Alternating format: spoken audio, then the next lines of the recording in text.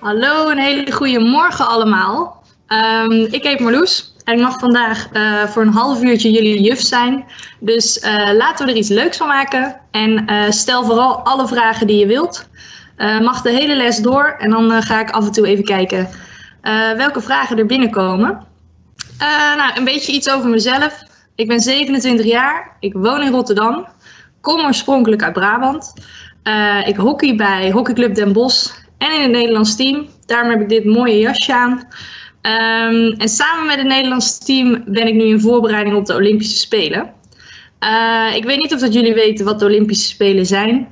Uh, dit is het grootste sporttoernooi van de wereld. En daar komen echt alle sporters uit alle landen. Die komen daar samen om mee te doen aan wedstrijden. En dan hoopt iedereen natuurlijk dat hij goud haalt. Um, we wonen dan als sporters twee weken lang met elkaar in één groot Olympisch dorp. Um, en het is eigenlijk een dorp met mensen uit de hele wereld. Het is heel erg leuk om te zien hoe er allerlei verschillende mensen met een andere taal, met een ander geloof, met andere gewoontes, een andere cultuur, andere eetgewoontes. Um, hoe die allemaal bij elkaar komen en met elkaar leven twee weken. Um, ik ga jullie nu zometeen een filmpje laten zien van onze wedstrijden met het Nederlands team. Dan krijgen jullie een beetje een idee van wat ik, uh, wat ik doe met mijn team. Want ik weet niet of dit iedereen hockey kent. Um, en uh, daarnaast ben ik eigenlijk heel erg benieuwd wat jullie voor hobby doen. Is dat bijvoorbeeld tennissen of voetballen of misschien dansen of een uh, gitaar spelen? Dus laat maar weten in de chat. dan kan ik daar zo naar kijken. En als laatste vraag voor de echte sportkenner. Wie weet in welke stad de Olympische Spelen volgend jaar worden gehouden. Dan ga ik nu eerst even het filmpje starten, maar dan kunnen jullie even nadenken. Super strike. Centre hard. The Netherlands number three. Gives the Dutch the lead. It's Netherlands 1, Argentina nil. We can be free. We can stay young if we just trust our minds and we won't be seen. When we are on the run. Just you and I. Believe your eyes. Watch the nightfall coming down and on. These are the new memories. Maak je het hartstikke goed.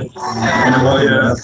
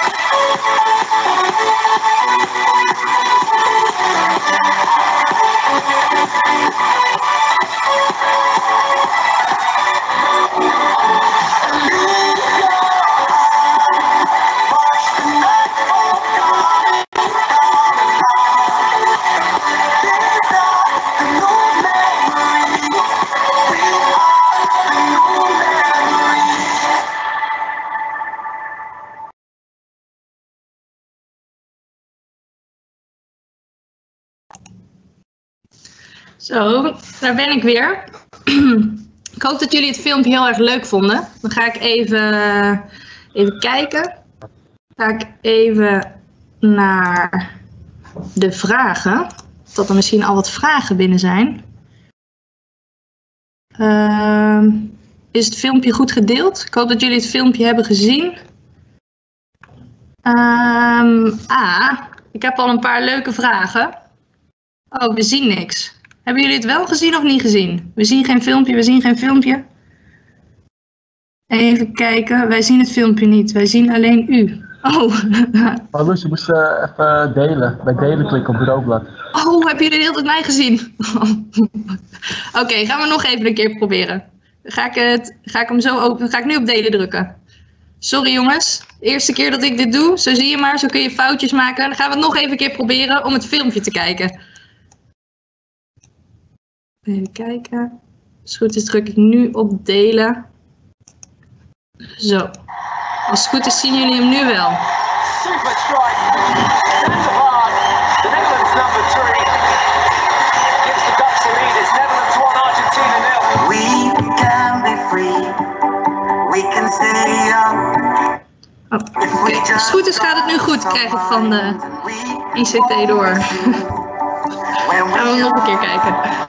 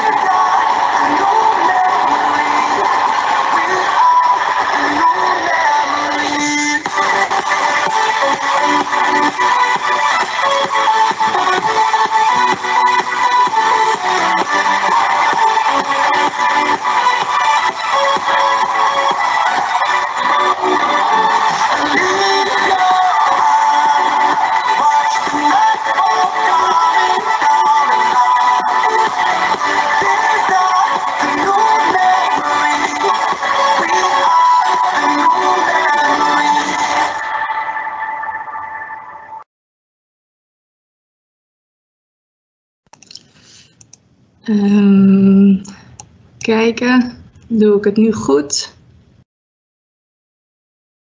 Als het goed is. Ja, daar ben ik weer. Als het goed is, gaat het nu goed. Ehm, ga ik eerst even beginnen met wat vragen te beantwoorden. Ik hoop dat jullie het filmpje leuk vonden. Dit waren van drie teamgenootjes eh, en eh, van mijzelf in het midden. Ehm, ik zie hier een vraag. Hoe lang zit je al op hockey? Eh, ik ben 27 en ik ben op mijn zevende begonnen. Dus dan kunnen jullie volgens mij uitrekenen hoe lang ik al hockey. Dus dat is volgens mij al best lang. Want jullie zijn 9, 9 of 10. Dat is bijna twee keer jullie leeftijd. Ehm, en ik zie hier dat er heel veel kinderen op voetbal zitten. Altijd leuk. Lijkt een beetje op hockey. Eh, dat er één iemand op tennis, op scouting, ook heel leuk. Eh, zwemles, paardrijden, judo. Leuk allemaal hoor, om te zien. En wat is mijn grootste droom? Nou, dan kan ik wel een mooie koppeling maken naar eh, waar de Olympische Spelen zijn. Ik, eh, ik zag een paar eh, goede antwoorden. Ik zag ook één keertje China. Daar is het niet. Dat was in 2008. De Olympische Spelen zijn eens in de vier jaar. De zomerspelen. En dan heb je ook nog de winterspelen. Die zijn ook eens in de vier jaar. Ehm, maar mijn grootste droom is goud halen in inderdaad Tokio. Volgend jaar zijn de Olympische Spelen in Tokio. Dus eh, daar gaan wij nu als team heel hard voor om daar goud te halen. Want het toernooi is één jaartje uitgesteld eh, door corona. Dus we hopen dat het volgend jaar wel kan. En de vraag, waarom heb ik voor hockey gekozen? Nou, ik zat vroeger op hockey en op tennis. Ik heb ook gezwommen. Maar ik vond het teamsport wel heel leuk. Ehm, en ik hockeyde ook met allemaal eh, vriendinnetjes uit mijn klas. Hockeyde ik allemaal eh, bij de plaatselijke hockeyclub. En eh, ja, ik ben niet van op de een op de andere dag in het Nederlandse team gekomen. Ehm, dus ik ben met hele kleine stapjes gegaan. Dus eh, ik mocht van mijn ouders. Ik kom uit een dorpje bij Den Bosch. Ik weet niet of dat jullie het kennen, Schijndel. En ehm, eh, toen mocht ik bij een open training meedoen. Dat vond ik zo leuk dat ik toen bij eh, de grotere stad ben gaan hockeyen. Ehm, maar ja, dit was wel even spannend. Want ja, ik hockeyde met allemaal schoolvriendinnetjes in mijn team. En ineens ging ik naar een team waar ik niemand kende. Dus ik weet niet of dat jullie dat een keertje hebben meegemaakt. Ehm, dat je ergens helemaal nieuw kwam. En eh, nou ja, eigenlijk niemand kende. En dat had ik toen een beetje. Dus dat vond ik wel heel erg spannend. Maar eh, ja, uiteindelijk heel veel vriendinnetjes gemaakt. En eh, heel veel spreek ik nu nog steeds. Dus dat was echt wel een, eh, een spannend moment voor mijzelf. Dus ik weet niet, zijn jullie een keer in een nieuwe klas gekomen? Of een nieuw sportteam? Of een nieuwe dansklas? Dus daar ben ik ook wel benieuwd naar. Of dat jullie ook spannende dingen al hebben meegemaakt. Maar uiteindelijk komt het altijd goed. En uiteindelijk maak je overal vrienden. Ehm, dan heb ik hier nog een paar vragen. Hoe is het om samen een wedstrijd te spelen? Ja, dat is dus heel erg leuk, want je werkt echt met een team. Meiden die ik allemaal heel goed ken. Werk ik naar een wedstrijd toe en er zit dan heel veel eh, adrenaline bij en heel veel spanning, want je wil heel graag winnen. Ehm, dus eh, ja, dat is eigenlijk gewoon vooral heel leuk en ook heel gezellig. Ik, ik, ik hockey gewoon omdat ik het leuk vind en eh, leuk vind om in mijn team met die meiden te hockeyen. Ehm, nog een vraag. Heeft jullie team ook een naam?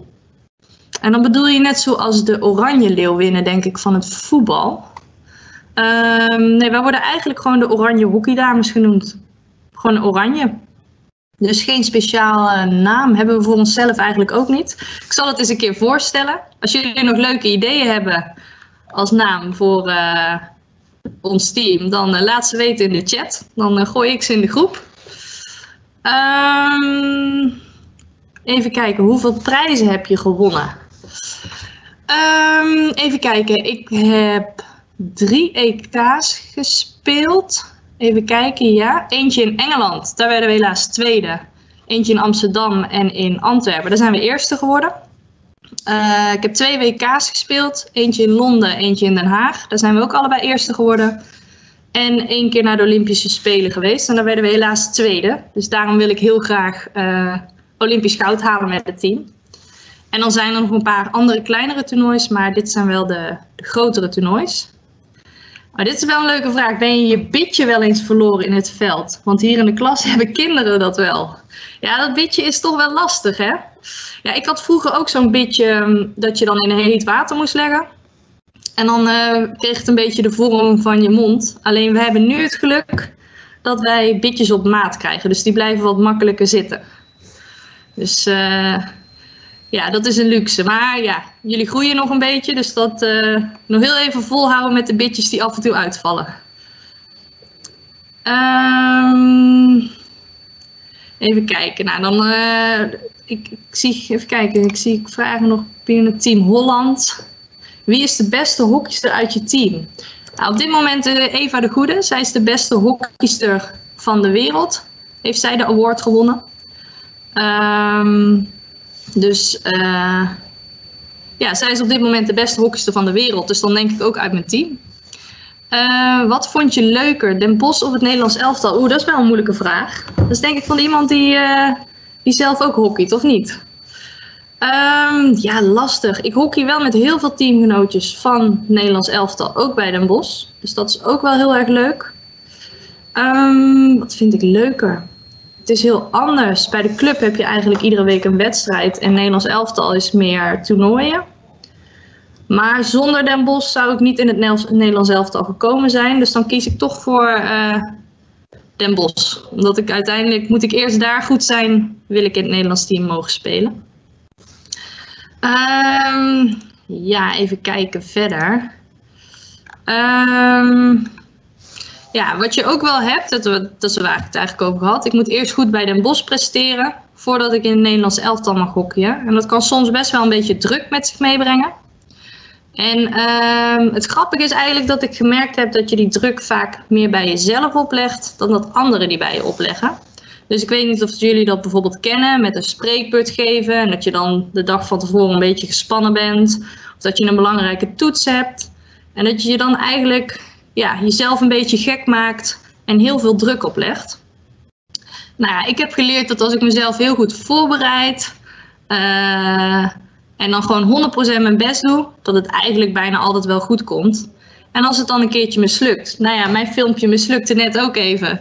Ehm, dan probeer je het daarna gewoon nog een keer. En dan vraag je hulp aan anderen. En eh, ja, dan komt het heel vaak wel goed. Dus ik ben eigenlijk benieuwd, eh, zijn jullie ooit gespannen of zo voor een spreekbeurt of voor een belangrijke toets? Ehm, want ja, dat zijn wel spannende momenten die ik ook echt nog weet van mijn, eh, van mijn basisschooltijd. Dus ik ben benieuwd in de chat. Even kijken. Ehm, wat vind je het moeilijkste aan hockey? Ehm, wat vind ik het moeilijkste aan hockey? Even denken. Het moeilijkste is eigenlijk, dan willen wij de bal afpakken van de tegenstander. En dan moet je met z'n elfen tegelijkertijd hetzelfde plan uitvoeren. Dus ik weet niet of dat jullie ooit bij gym, dan ga je een spelletje spelen en dan moet iedereen eigenlijk tegelijkertijd hetzelfde doen. Nou, dat is best wel lastig.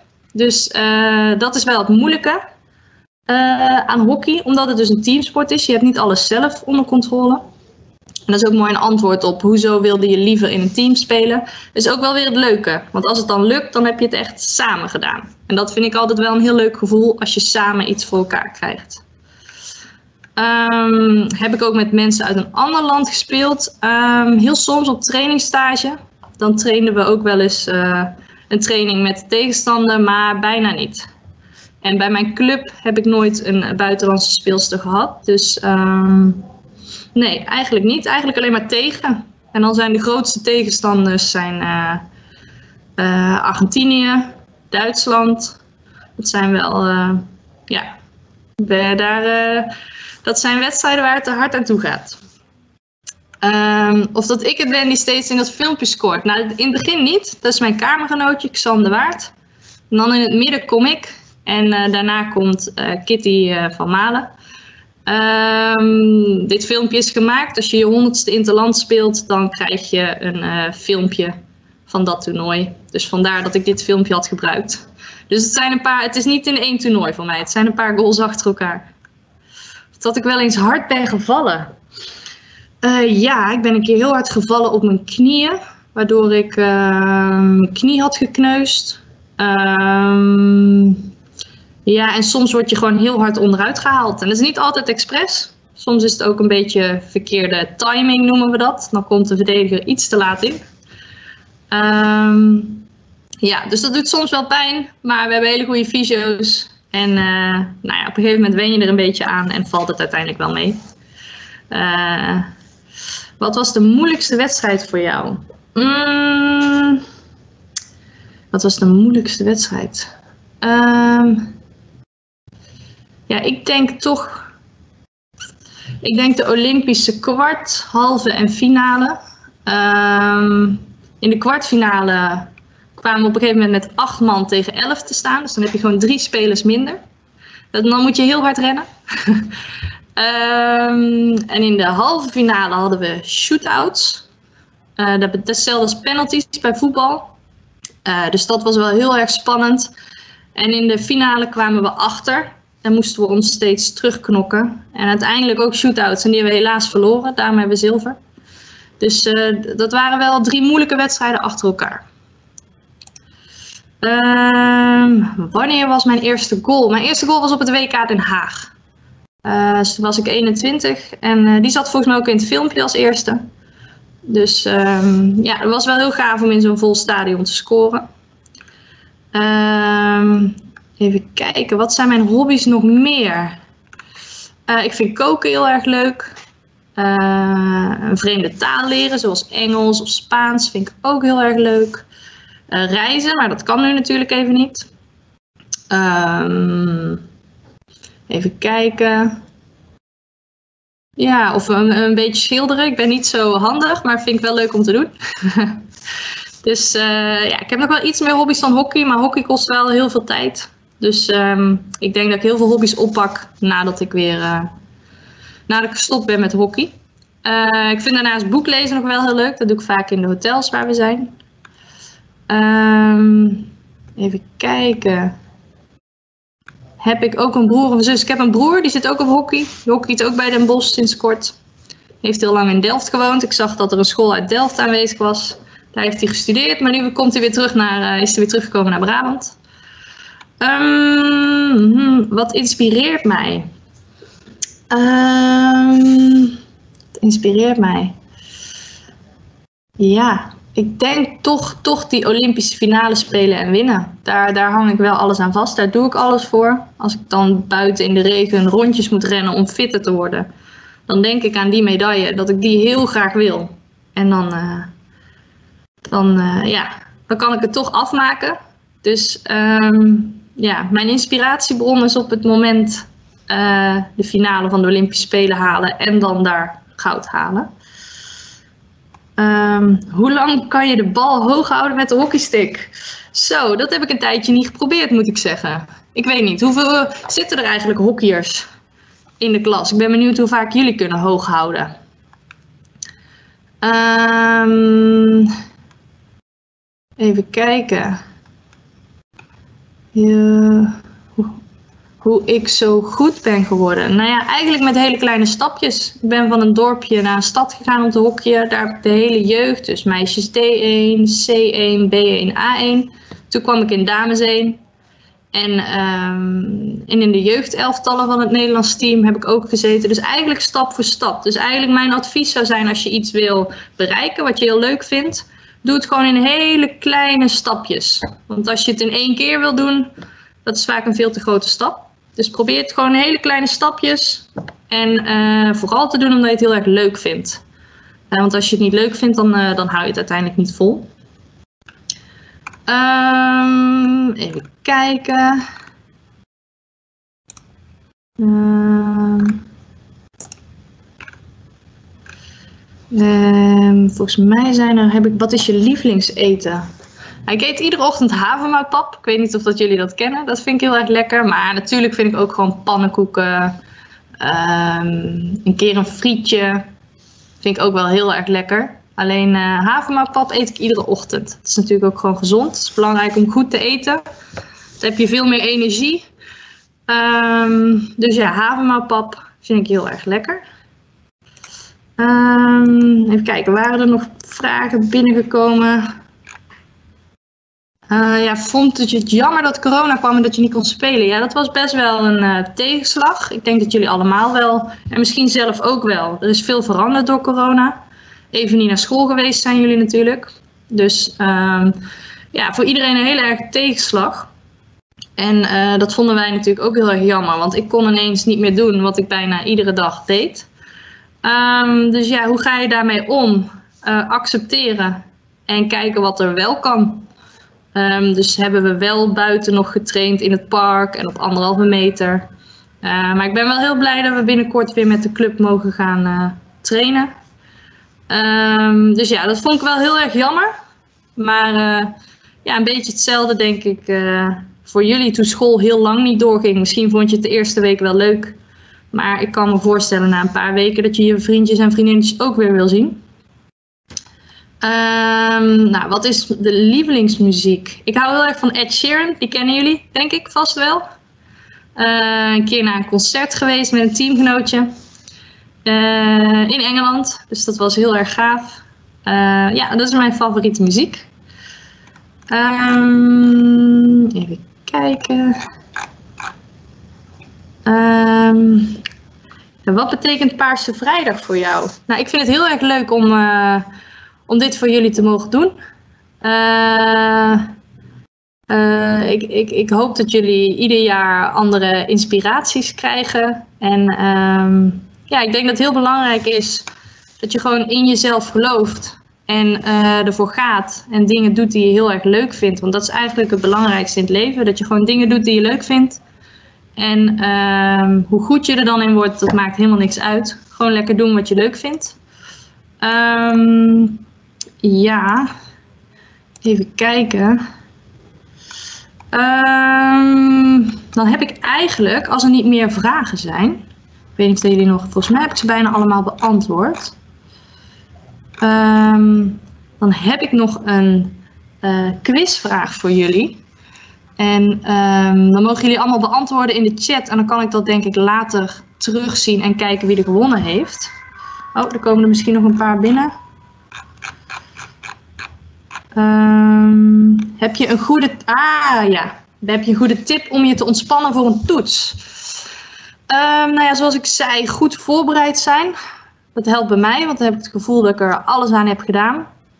En verder doen wij ook op de bank, doen wij als we heel gespannen zijn, doen we ook gewoon even inademen en weer even uitademen. En dat doen we dan een paar keer. En eh, dan word je eigenlijk vanzelf rustiger, omdat je je even concentreert op je ademhaling en niet op, eh, op wat je zo spannend vindt, de toets of zo weer het veld in moeten. Dus eh, dat is eigenlijk mijn tip. Ben je wel eens geblesseerd? Ja, dat is ook wel een tegenslag. Ik ben de laatste twee jaar veel geblesseerd geweest. Ehm, dus ik moest iedere keer weer in mijn eentje trainen. Terwijl ik het juist zo leuk vond om met het team te trainen. Dus ehm, ja, dat is zeker een moeilijk moment. Ehm, maar ook daarbij, ja, schouders eronder, hoofd omhoog. Eh, en eh, ja, super hard trainen, zodat ik zo snel mogelijk weer terug mocht eh, bij het team. Dus ja, dat waren zeker wel zware momenten, maar daar heb ik ook heel veel van geleerd. Om door te zetten en ja, erin te geloven dat het goed komt. Floris vraagt of je goed bent in rekenen.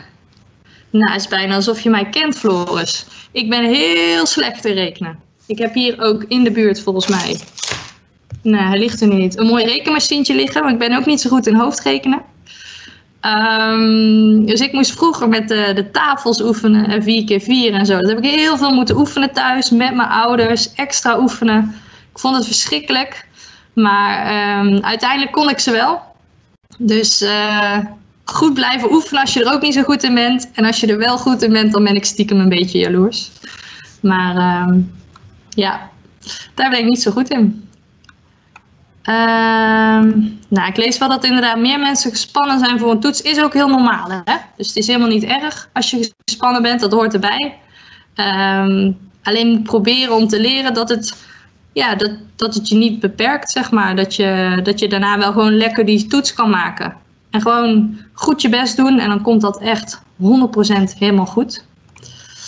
Um, oh, een boekenbeurt zie ik ook. Die ken ik ook nog inderdaad, ja. Ja, wel heel leuk uiteindelijk ook. Maar het zijn spannende momenten. Um, even kijken, dan heb ik als afsluiter heb ik een uh, quizvraag. En dan kunnen jullie uh, ja, reageren in de chat. En dan kan ik dat denk ik daarna terugzien. Wie er het dichtst in de buurt zit. Um, ja, en dan weet ik via Brigitte, die uh, werkt bij de Hockeybond, dat Felix, die weet er al wel heel veel van. Um, dus ik ben benieuwd of dat je deze ook weet. Uh, de officiële wedstrijden van het Nederlands team die worden bijgehouden.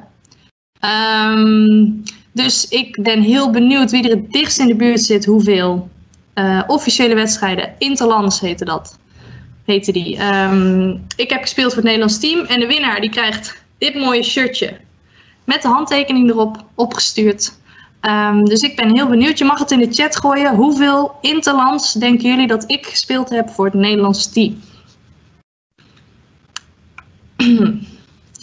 dus ik ben heel benieuwd wat er binnen gaat komen. Misschien kan ik ondertussen nog wat vragen beantwoorden die ik gemist heb. Van wie was je fan toen je klein was? Um, ik was fan van Naomi van As wel grappig dat ik daar daarna heb ik daarmee in een team gespeeld. Uh, een hele goede hockeyster, dus daar keek ik echt tegenop. Hoe vaak zijn jullie tweede geworden met het team? Ehm, bij de grote toernooien twee keer. Dus bij een EK en bij de Olympische Spelen. Um, even kijken, zie ik al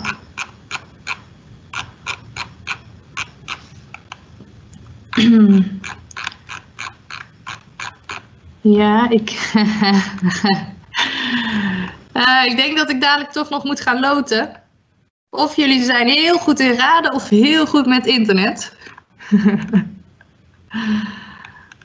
Ehm, ik zie al wel heel veel antwoorden binnenkomen. Nou, ik ga uiteindelijk zorgen dat ik eh, ehm, ga loten. Want ik zie, ik denk dat nu alle antwoorden wel binnen zijn. Nog een paar seconden.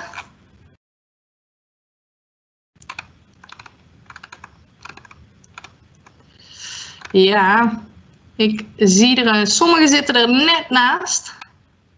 En anderen weten het heel precies. Dus ik, ik, zal, hem, eh, ik zal zorgen dat er onder gelood wordt. En dan eh, komt het shirtje misschien de kant op van de mensen die 149 hebben geraden. Ik heb inderdaad 149 interlands gespeeld. Eh, net geen 150 dit jaar, helaas, door corona. Maar ehm, ja. Dus de mensen die 149 hebben, die hebben het goed geantwoord. Of de klasse. En eh, ik zal dadelijk even kijken hoe ik kan zorgen dat er gelood wordt. En eh, dan zien jullie het shirtje vanzelf jullie kant op komen. Ik hoop dat jullie het heel erg leuk vonden. En ja, hele fijne schooldag nog. Fijne kerstvakantie, die is binnenkort. Dus ehm, ja, heel veel plezier nog. Doei doei!